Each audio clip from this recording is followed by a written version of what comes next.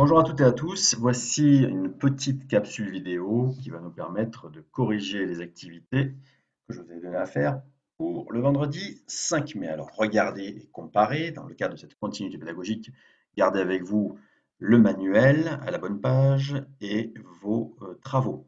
Regardez, comparez avec ce que vous avez fait. Comme toujours, la feuille écrite hein, sera sous format Word. Alors, ce n'est pas celle-là, évidemment, c'est une autre.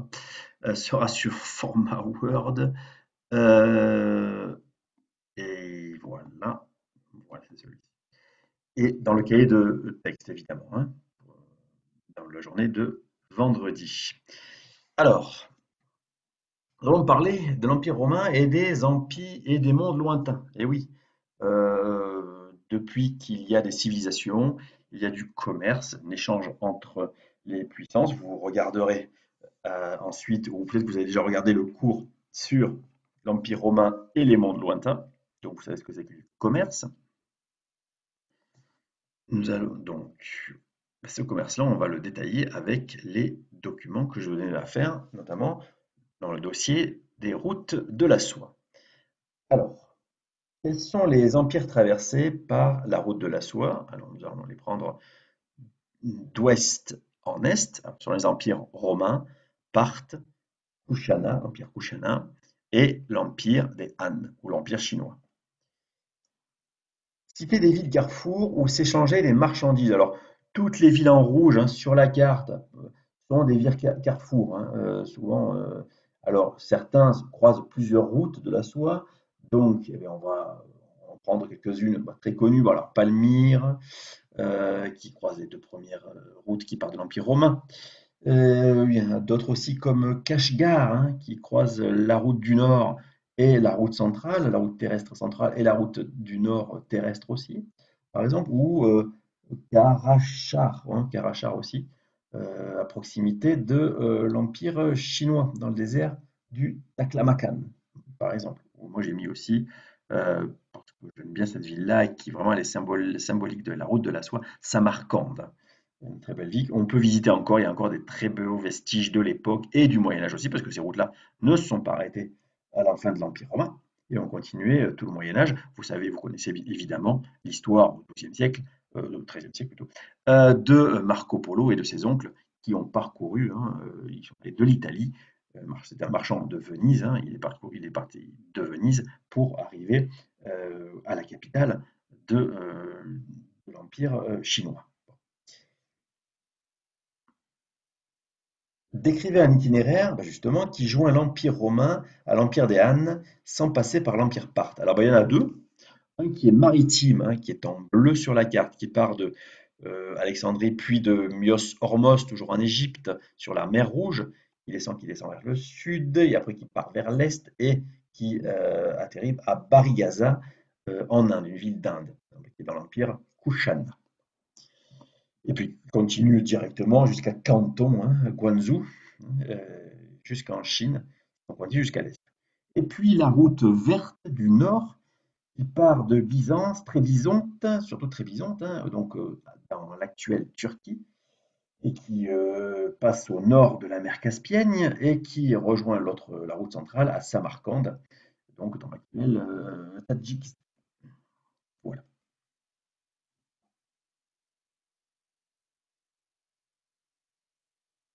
Pourquoi Palmyre euh, est la porte de l'Orient pour Rome? Parce que c'est la première ville romaine qui s'ouvre sur l'Orient. C'est la, dernière, ou la dernière ville romaine à l'est de l'Empire romain. Ensuite, c'est plus l'Empire romain. Comment se déplacer les marchands sur les routes? Quels dangers rencontrent-ils? Alors, euh, les marchands se déplacent surtout euh, sur des chameaux, vous l'avez vu, mais d'autres animaux de portage. Hein. Il y a aussi euh, les ânes, les mulets, les yaks, les chameaux, les chameaux, j'ai dit, les chevaux. Alors, pourquoi c'est dangereux? Ben, il, y a, de nombreuses montagnes, hein, donc c'est l'école, en hiver il y a de la neige, hein. Euh, il y a du vent, il y a de la pluie. Et puis après, hop, des déserts où il fait très chaud, il y a pas d'eau, où on n'a pas de fontaine ni de, ni de puits pour trouver de l'eau. C'est dommageable pour les êtres humains et pour les animaux qui ont besoin de, beaucoup d'eau pour euh, faire euh, ben, leurs activités. et surtout des zones de guerre et des brigands. Brigands, pour ceux qui ne savent pas ce que ça veut dire, c'est un synonyme de voleur. Citer, alors question numéro 3, citer quelques produits d'Orient transportés jusque dans l'Empire romain et quelques produits de l'Empire romain transportés en Orient. Alors, bon, je choisis alors, donc, transportés vers l'Empire romain, c'est la soie, les épices, par exemple. Les produits transportés vers l'Orient, c'est l'or, l'argent, les verreries, notamment. Question numéro 4. Comment ce Romain appelle-t-il la Chine? Pourquoi critique-t-il la soie? Alors, euh, alors, l'auteur, c'est Sénèque le jeune, c'est pas, c'est pas, c'est quelqu'un de très célèbre à l'époque, hein, c'est un philosophe romain. Euh, donc euh, bon, il est, un philosophe moraliste hein, qui pense que le moral est supérieur à la politique. Hein. Vous verrez si vous faites des ateliers philo ou si vous, vous, ferez de la, philosophie en terminale, mais vous pouvez le faire euh, avant. Alors Sénèque le jeune, il a une drôle de façon de, voir la Chine. Vous un pays obscur, ben oui, il y a très très très très peu Qui sont allés, donc c'est obscur, il est mystérieux, on pourrait, euh, le symbole, on dire obscur, mystérieux, bon, voilà, hum, pourquoi pas. Et puis euh, évidemment, la soie n'a que des défauts pour l'auteur, hein. pourquoi critique-t-il la soie? Alors déjà, un, c'est un vêtement qui ne protège pas le corps des femmes. Non, ça ne, ça, ne protège pas du froid ni de la chaleur, la soie. Hein. Si vous en mettez, c'est pas ça. Et ou de la pudeur. Que, euh, pas, bah, il y a une transparence hein, euh, évidemment, euh, est contre la pudeur euh, que propose Sénèque, justement, un philosophe moral. Hein. donc, ça ne protège en rien du froid ni du chaud, donc ça n'a aucun intérêt, sauf montrer le corps des femmes, mais c'est pas du tout euh, ce que l'on veut dans la rue. Et puis, autre chose, à grands frais, elle est très chère. On l'a fait porter à, grands frais, elle ne sert à rien. Un vêtement, normalement, chez Sénèque, hein, c'est quelque chose qui peut protéger du chaud, du froid, surtout du froid, mais aussi du, chaud, peut-être un chapeau ou euh, un vêtement pour protéger du chaud. Là, non, pas du tout, ça ne sert vraiment, c'est très à la mode, ça ne sert à rien, mais comme beaucoup d'objets de, mode, mais euh, ça plaît et ben, voilà, ça, reste là. Mais Sénèque est vraiment furieux contre ce produit produire de la laine ou des vêtements romains, plutôt que de faire venir, d'importer de Chine des produits de ce pays obscur, donc un peu mystérieux, on ne sait pas trop euh, à quoi il ressemble. Hein. On va le voir d'ailleurs, il y a très peu de gens qui savent à quoi ça euh, ressemble, et euh, ceux qui parlent de la Chine, ça se voit qu'ils n'ont jamais mis les pieds. Et, donc, voilà, pourquoi pas prendre des produits de l'Empire romain C'est encore aujourd'hui le cas. Hein. Pourquoi acheter en Chine, hein, pas en Europe c'est un débat que vous avez peut-être entendu à la télévision. Alors, documents 1 et 2, justement, page 172. Alors, je tourne la page. Comment les Chinois voient les Romains? Bah, dis donc, alors si euh, Pline l'Ancien, pourtant on, le connaît Pline l'Ancien, hein, c'est le, tonton, euh, l'oncle de Pline le Jeune, le gouverneur qui euh, qualifiait les chrétiens de mal contagieux. Alors, euh, eh bien, eh les, Chinois, ils sont, ils sont logés à la même enseigne, je dirais. Hein. Donc, alors, euh, l'auteur se trompe sur le physique des Chinois, évidemment. Euh, dépasser la taille ordinaire, non, les Chinois sont plus petits hein, que les Européens. Pas les cheveux rouges, je ne sais pas où, où il est allé chercher ça, ni encore moins les yeux bleus. Sur leur culture aussi, on le sait, si vous avez regardé la vidéo euh, du cours, ou si vous allez la regarder après, vous allez voir que c'est une très grande culture, surtout à l'époque de, de, Pline, l'Ancien, pardon. Hein. On est au 1er siècle, c'est déjà une très grande culture, 1er siècle après Jésus-Christ. Ils ont un philosophe depuis des siècles qui s'appelle Confucius, il est mort bien sûr, mais qui est du 5e siècle avant Jésus-Christ. Euh, il, y a, une écriture chinoise, il y a une langue, il y a plusieurs langues chinoises. Hein. En tout cas, il y a des écritures, il y a des langues chinoises euh, elles sont écrites sur le papier notamment, euh, donc elles se diffusent et il y a beaucoup de gens très instruits qui savent lire et écrire en Chine, beaucoup plus que dans l'Empire romain. Donc sur leur culture, sans langage pour se, pour se communiquer leurs pensées, ben non, au contraire, ils ont des pensées très développées, ils ont des, grands philosophes justement comme Confucius. Et sur la fabrication de la soie, alors je tombe complètement. C'est assez bizarre pour Pline l'Ancien qui adore les détails techniques. Mais là, vous savez tous, les enfants, que la soie vient du verre à soie du fil du verre à soie, quand il fait son cocon pour devenir ensuite un papillon, hein, quand il se métamorphose de verre, de verre blanc, hein, un gros verre blanc, euh, le verre à soie à un, papillon qui est moins beau. Bon, euh, et, euh, ce sont donc cette, d'origine animale, la soie, elle n'est pas d'origine végétale. Et Pline l'Ancien, qu'est-ce qu'il nous dit? Il détache le duvet blanc des feuilles en l'arrosant d'eau. Il pense que c'est un duvet fabriqué par les arbres, par les feuilles des arbres, donc d'origine végétale. Il se trompe complètement sur l'origine de la soie. Et il ne doit pas être le seul. Hein. Euh, il ne doit pas être le seul à se tromper. Savoir quelle est l'origine de la soie, comment on la fabrique. En tout cas, la majorité des Romains ne savent pas comment on fabrique.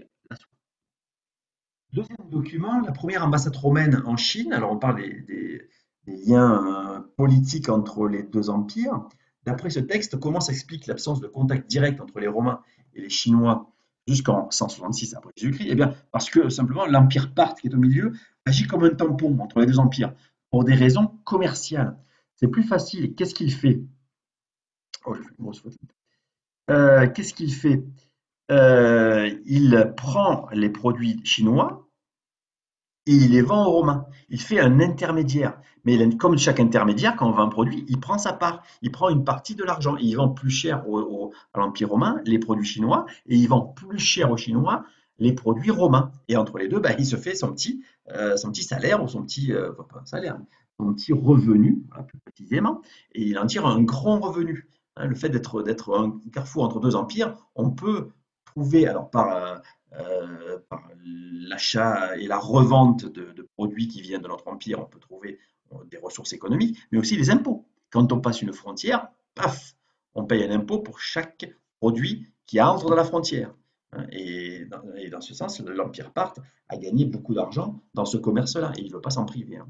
Mais en 1966, euh, l'empereur romain va battre l'empereur parthe et euh, dans leur accord, hein, comme l'empire parthe va être vaincu, euh, eh bien l'empereur romain va dire non, je veux négocier, je veux commercer sans impôt, sans que les produits soient plus chers entre la Chine et moi. Voilà, surtout, surtout que on est au deuxième siècle après Jésus-Christ et la mode de la soie, c'est une vraie mode. Euh, tout le monde veut de la soie, enfin tout le monde, ceux qui peuvent s'en payer.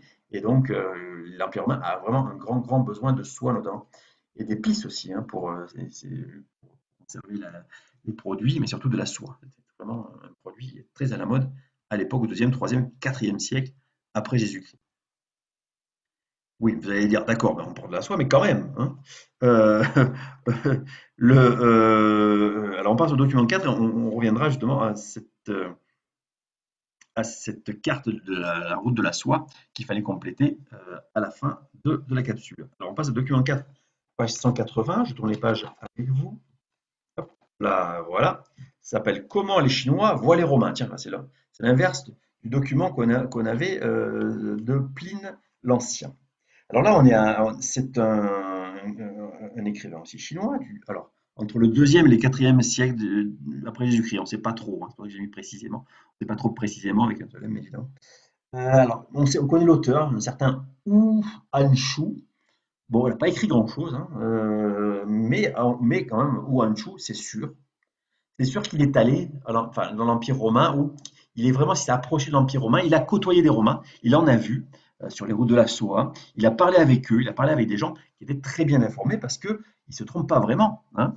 Euh, et, en plus, c'est plutôt positif. Alors, honnête en affaires, oui, bon, on n'est pas là pour le savoir, mais en tout cas, oui, c'est des gens civilisés dans le commerce, pas des voleurs, des brigands ou des arnaqueurs, on pourrait dire. Hein, euh, l'empire est bien organisé, ben oui, hein, on l'a vu avec les routes, les grands monuments, les gouverneurs, une série d'administrations. Euh, et le sol renferme beaucoup d'or et d'argent, et de euh, joyaux précieux. Oui, c'est évidemment, effectivement le cas. On connaît les mines romaines euh, et les mines en, Grèce, en, Turquie, en Proche-Orient, de, grands minerais précieux. Donc, ce qu'il voit, ou ce qu'il a, raconté, ou ce, que d'autres personnes ont raconté, c'est vraiment assez fiable cette fois-ci. Euh, donc c'est positif. Il fallait justifier la réponse. Moi, j'ai justifié en disant honnête en affaires. Bah oui, quand on est honnête, c'est quand même une qualité, pas un défaut. Euh, troisièmement, comment le texte s'explique-t-il explique-t-il l'absence de contact entre Chinois et Romains? Alors pour lui, alors voilà, bah, Wu Shu, bah, c'était pas un grand politicien apparemment. Hein. Bon, parce qu'il dit que euh, la cause principale, c'est que le voyage est dangereux. Il y a des tigres féroces et des lions. Oui, c'est vrai. Mais l'auteur oublie beaucoup d'autres choses, ce qu'on a vu avant. Il oublie les brigands, il oublie les zones de guerre, il oublie le rôle tampon que joue l'Empire parthe dans cela, hein, le passage des frontières est quelquefois difficile, où il faut payer les impôts, où il faut payer les, euh, gardiens des frontières pour passer la frontière, euh, un peu graisser la patte, on dirait. hein, euh, en français, je ne sais pas si vous comprenez. euh, donner un peu d'argent pour, pour passer. Et donc, euh, c'était pas très agréable pour les commerçants qui devaient sans cesse ouvrir leur porte-monnaie pour, s'ils voulaient voyager, eh bien, il fallait payer des gens qui les empêchaient d'avancer. Question numéro 4, finalement, qu'emparait cette vision avec celle des Chinois par les Romains, notamment Pline l'Ancien? Bon, on l'a déjà un peu dit, hein, elle est à l'opposé du, du Romain. hein. Le Romain a plutôt une vision négative de euh, ces personnages. Cheveux rouges, c'est pas forcément positif dans. euh, désolé s'il y, y a des rouquins dans la classe. hein. Mais euh, à l'époque, chez les Romains, c'est pas une- pas un signe de. c'est pas, pas un- une qualité physique, on va dire. Ça, et puis, apparemment, c'est ce que je, viens de dire, l'auteur connaît le sujet et, et a, et a- vraiment, vraiment visité, et a vraiment visité, et alors, qu'est-ce qui se passe? Et a vraiment visité l'Empire romain ou a, rencontré vraiment des Romains. C'est quelque chose qui, est, possible sur la route de la soie. On rencontre vraiment des gens de, de partout dans ces routes de la soie. On avait le temps, hein. Il fallait des mois et des mois pour rejoindre l'Empire romain, l'Empire chinois. On avait le temps d'écrire et de rencontrer des gens euh, sûrement très intéressants qui avaient beaucoup voyagé et qui racontaient des récits de voyage plus ou moins véridiques, mais en tout cas, An, An, Unanshu essaye de raconter euh, la vie quotidienne de- des Romains le plus honnêtement euh, possible. Voilà, alors on va prendre, pour finir, je vais partager l'écran avec vous, hop, directement, sans suspendre l'enregistrement, voilà, avec la carte qu'il fallait faire, voilà, l'Empire romain à l'Empire des Han. Bon, vous l'avez bien complété. Alors pour ceux, pour corriger, j'ai pas vu de gros problèmes hein, dans ces cartes-là. Mais euh, alors pour la corriger, il faut vous appuyer sur la carte de votre livre, hein, la carte numéro 4 à la page 171. hein. Vous l'avez tous? Voilà, c'est la même, c'est la même. Donc il faut évidemment euh, qualifier l'Empire romain. Regardez bien les limites. hein, ça passe par Palmyre, ça passe par Bisonte, ça passe au nord par Byzance, vous voyez en pointillé là, l'Empire romain. Euh, l'Empire des Han, l'Empire chinois, eh bien, voyez, il passe alors évidemment par la Grande Muraille de Chine, qui est la frontière avec notre empire au nord, mais au sud, elle passe donc par le fleuve, le fleuve jaune qui est là, les pointillés qui sont là, jusqu'au, jusqu'- presque au Mekong, hein, jusqu'à la vallée du Mekong, qui est là, hein, d'accord, l'actuel Vietnam. Euh, voilà. Et puis, il n'y a pas de problème, route de la soie, route terrestre, route maritime, pas de soucis. C'est bon? Ben, merci de m'avoir écouté et à très bientôt pour cette continuité pédagogique qui se poursuit euh, jusqu'à la fin de l'année. À bientôt.